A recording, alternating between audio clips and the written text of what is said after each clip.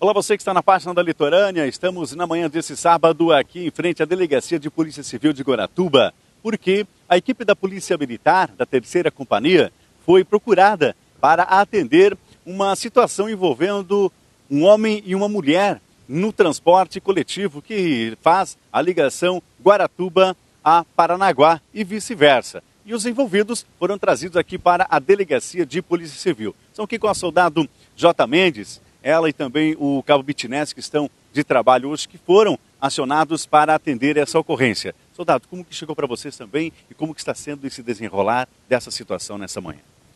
Nós fomos procurados pelo motorista do ônibus, né?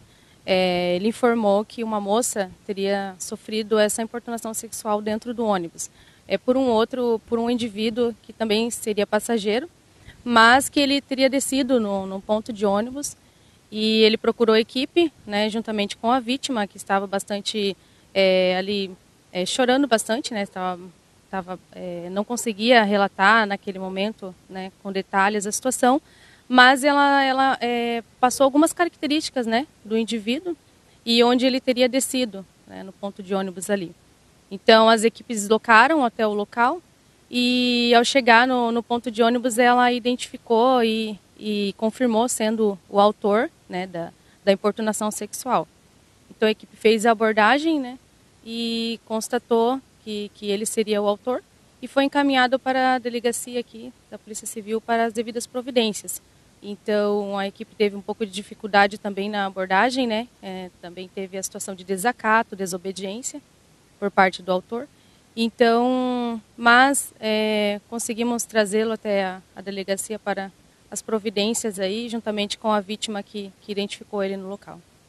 E um, um recado também, né? um exemplo para as demais mulheres, né? porque essa situação pode ocorrer a qualquer momento com essas situações. Né? Muitos homens acabam né, se deparando né, e aproveitando de certa oportunidade, sendo oportunistas e causando esse tipo de ação. Sim, sim, ele, ele viu né, uma, uma possibilidade né, e, e acabou, infelizmente, efetuando essa, essa importunação, né? É, é, importante, né, é bem difícil, na verdade, por parte da maioria das mulheres, né, fazer a denúncia, né, tanto que no momento ali ela estava bastante abalada, né, e naturalmente, né, ela bastante abalada. É importante as mulheres denunciarem. É muito importante isso acontecer para que possa ser tomadas as medidas cabíveis, né. Esse esse indivíduo tem uma ficha extensa, um, um histórico criminal muito grande mesmo. E nós esperamos que agora as medidas sejam tomadas, né?